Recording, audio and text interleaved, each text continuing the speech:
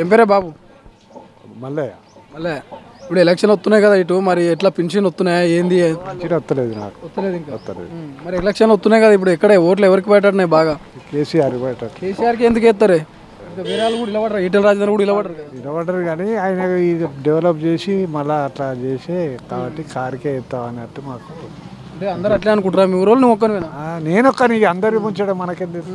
నీకు నీకు జత కలిసిన వాళ్ళు ఏమంటారు? కూర్చుంటావు కదా ఆడాడ షాయ్ తాగుతాను ఆడ కూర్చున్న వాళ్ళు ఏమంటారు మీ దోస్తులు? ఏమొస్తారు ఇక అది నా తెలియదు నా వరకు అడిగితే ఆయన అనుకుంటున్నావు అయితే. ఏం పేరే? మాస్ రావాలన్నా. ఇప్పుడు ఇక్కడ ఎలక్షన్లు వచ్చినాయి కదా ఎట్లా తిరిగిపోతురా ఎవరైనా వస్తురా వస్తలేరా ఏంది ఎట్లున్నది ఇక్కడ?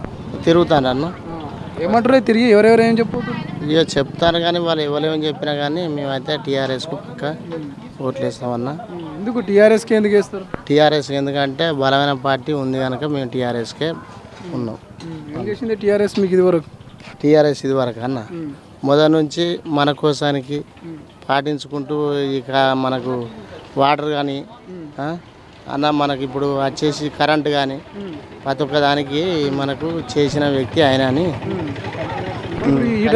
కోసం కనుక అన్న. ఈటల రాజేందర్ కూడా ఇది వరకు ఎమ్మెల్యే ఉండే ఇక్కడ అభివృద్ధి చేసిరంటారు కదా? అన్న చేసుడంటే ఇప్పుడు మాకు చేసిండనే ముచ్చట కోసం చూస్తే మాత్రం మాకు నిజానికైతే కేసీఆర్ అంటేనే మాకు అభిమానం. మేము టీఆర్ఎస్ పార్టీకే వచ్చేస్తామన్న ఇప్పుడు మరి ఎమ్మెల్యే టికెట్ గెలు శ్రీనివాస్ యాదవ్కి ఇచ్చారు. ఆయన కొంతమందికి తెలుసు అంటారు కొంతమంది తెలియదు అంటారు మరి గెలుస్తారంట అట్లా ఆయన? పక్క హండ్రెడ్ పర్సెంట్ గెలుతాడు అన్న ఏ నమ్మకం అంటావు? పక్క ఆయనే గెలుస్తాడు ఆయన గెలుస్తాడు అది కాంగ్రెస్ గెలవదా మరి? బీజేపీ గెలవదా? లేదన్న. బీజేపీ కూడా మాకు పెద్దగా అంతేం లేదు. అంతే. అంతే. అంతే. ఇంకా ఇప్పుడు పెన్షన్లు కానీ డబుల్ బెడ్రూమ్ కానీ వచ్చినాయి ఇక్కడ? అన్న? పెన్షన్లు డబుల్ బెడ్రూమ్ పింఛన్లు ఇస్తాడులే పింఛన్లు ఇస్తాడు ఓకే. డబుల్ బెడ్రూమ్లు అంటే ఇప్పుడే కడతారు ప్రభుత్వంలో నడుస్తుంది వస్తాయి కూడా. ఇప్పుడు ఈ దళిత బంధు రాష్ట్రం మొత్తం ఇవ్వాలంటారు కానీ మరి మీరు సీఎం సార్ ఏమో కేవలం హుజురాబాద్లో ఇస్తా అంటాడు కదా. నువ్వేమంటావు? కనుకే ఇస్తానని అంటాడు. కాకపోతే ఇక అక్కడ వచ్చేసి మాకు గుజరాత్ కోసానికైతే పాటించేది అయితే కేసీఆర్ సార్. రాసుకపోయారా? మీ దిక్కు ఎవరికైనా వచ్చినాయి దళితులకు? రాసుకపోయాను. రాసుకపోయారు. ఏం చేస్తారంట? పది పది లక్షలు వస్తే ఎవరని చెప్పిరా? చెప్పారన్న ఏమేమి తీసుకుంటామని చెప్పి అడిగారు. అడిగితే ఎవరు ఏం పెట్టుకుంటారు? ఒక ఐదు వస్తువులని పెట్టుకోమని చెప్పారు. ఐదు వస్తువులు పెట్టుకున్నాం. పెట్టుకున్న దానికి దాన్ని మళ్ళీ ఒకసారి మీకు ఎడ్యుకేషన్ వస్తుంది. దానికోసానికి మీరు చెప్పాలి. ఒకటి ఏదైనా పది లక్షల మట్టు ఇస్తారు. దాన్ని మీరు యూనియన్ చేసుకొని మీరు దాన్ని పాటించుకోవాలని చెప్పేశారు. ఓకే నాన్న. నగర బుచ్చే. చా, ఇప్పుడు ఇక్కడ ఎలక్షన్లు వస్తున్నాయి. అన్ని పార్టీ నేతలు వస్తున్నారు. తిరిగిపోతున్నారు. ఏమనిపిస్తున్నది నీకు? ఎక్కువ ఎవరు తిరుగుతున్నారు? ఎట్లుంది? నాకు కేసీఆర్కే నాకు పింఛన్ ఇచ్చిండు. నాకు ఆయనకి వేయాలి నాకు ఈ రైతు బంధు కూడా ఇస్తాడు నేను ఆయనకే ఇస్తా పింఛన్ ఎంత వస్తుంది? నాకు రెండు వేల పదహారులు అన్నాడు. రెండు వేలు ఇచ్చిండు. వస్తుంది? ఎక్కువ ఎవరు ఎవరు ఎవరి పేరు చెప్తారు ఎక్కువ ఇక్కడ?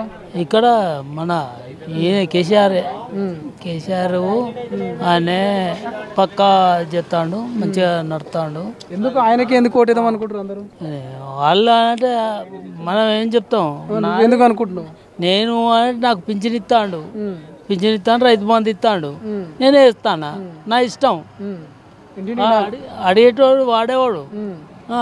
నేను కేసీఆర్కే ఇస్తానా? ఇస్తానా అంతే. అంతే.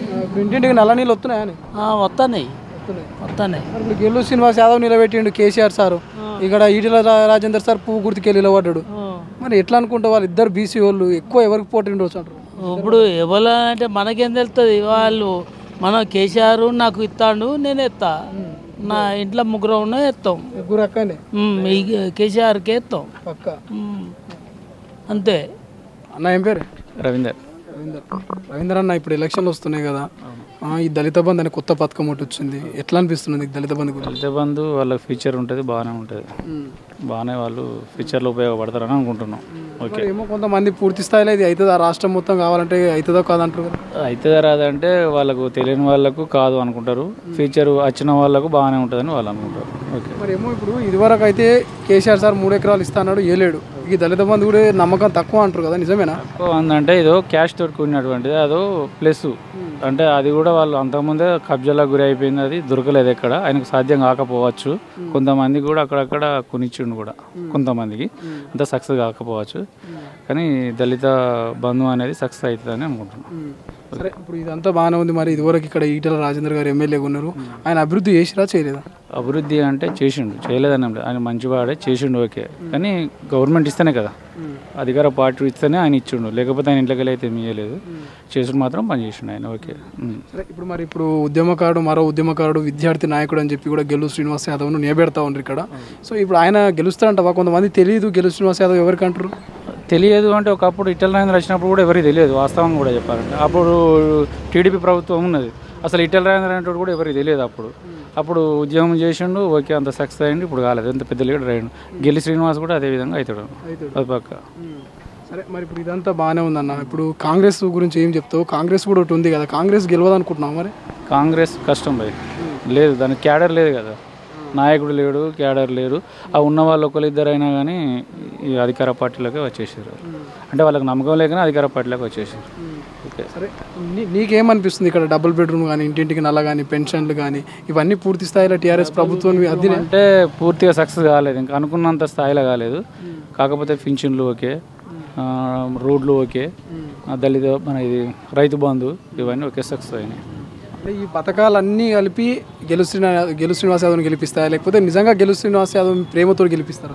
రే పథకాల వల్లనే గెలుస్తాడు. గెలుస్తాడు. Hundred percent. అంటే గెలి శ్రీనివాస్ అంటే వ్యక్తిగతంగా మనకు తెలియదు. పార్టీ పరంగా మాత్రం ఆయన తెలుసు. ఎంత మెజారిటీ రావచ్చు? ఇక మెజారిటీ అంటే ఇంచుమించు. అంత పెద్ద కాకపోయినా గెలుస్తాడు అనేది ఇంత అంత అనేది ఏం లేదు. అంటే ఫస్ట్ టైం కదా ఆయన వచ్చింది. ఇంత అంత కాకపోయినా కానీ మొత్తం మీద గెలుస్తాడు అని నమ్మకం. తాత ఏం పేరే? రాజయ్య. రాజయ్య ఇప్పుడు ఇక్కడ ఎలక్షన్లు వస్తున్నాయి. దళిత బంధు అనేది కొత్త పథకం తీసుకొచ్చిన సీఎం సీఎం కేసీఆర్ గారు. ఎట్లా నడుస్తున్నాయి సర్వేలు మీ ఊళ్ళో? అయిపోయింది. దాదాపు అయిపోయినట్టు సార్ అయిపోయినట్టు. అందరు రాసుకపోతారు మరి ఎట్లా ఇప్పుడు ఎవరు గెలిస్తే బాగుంటుంది అంటే ఇక్కడ? టీఆర్ఎస్ వాళ్ళ బీజేపీ కా- కాంగ్రెస్ వాళ్ళ ఎవరు గెలిస్తే బాగుంటుంది? ఇంకా రెండు సంవత్సరాలు అధికారం ఉంటుంది కదా. ఎవరిది ఎవరిది ఉంటుంది అంటావు టీఆర్ఎస్ పార్టీ కేసీఆర్ గారి నాయకత్వం ఇంకా రెండు సంవత్సరాలు రెండున్నర సంవత్సరాలు ఉంటుంది కాబట్టి మళ్ళీసారి కూడా టీఆర్ఎస్నే గెలిపేయాలని ఆలోచన ఉన్నది అందరికీ. మరి ఇప్పుడు టీఆర్ఎస్ ఇప్పుడు గెలు శ్రీనివాస్ యాదవ్ను పెట్టిర్రు. ఆయన ఎవరికి తెలియదు అంటారు మరి? ఇప్పుడు ఈటల రాజేందర్ గెలుస్తారు అంటున్నారు నిజమేనా? మనం చెప్పలేము అంత ఏం లేదు. మరి ఇదివరకు ఉన్న ఎమ్మెల్యే ఇప్పుడు ఈటల రాజేందర్ ఏమైనా అభివృద్ధి చేసిరా ఇక్కడ? చేసింది కొంత కొంత చేసింది కానీ మొత్తం మీద పార్టీ టీఆర్ఎస్ పార్టీ తరఫున జరిగినట్టు అభివృద్ధి అనేది. అయితే మరి ఇప్పుడు ఎవరు గెలిస్తే బాగుంటుంది? అభివృద్ధి ఎవరు చేస్తారు బాగా గెలిస్తే? గవర్నమెంట్ ఇంకా రెండు సంవత్సరాలు ఉంటుంది కదా.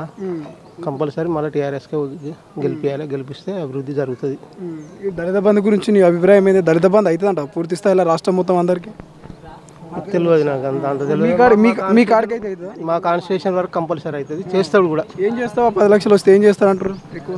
ఏం చేస్తారంటే వాళ్ళు ఏదైనా వెహికల్స్ లేకపోతే ఏదైనా పౌల్ట్రీ ఫార్మ్స్ హార్వెస్టర్స్ ఇంకా ఇటువంటి కార్యక్రమాలు చేసుకుంటారు పెట్టుకుంటే పర్వాలేదు. పోనీ ఎప్పటికీ మన దళితులు వెనుకబడి ఉన్నారు కాబట్టి కంపల్సరీ వాళ్ళు చేయవలసిందే. అయితే ఎక్కువ మొత్తంలో అయితే టీఆర్ఎస్ అంటారు అయితే. దాదాపు sixty percent sixty five percent ఉంటుంది.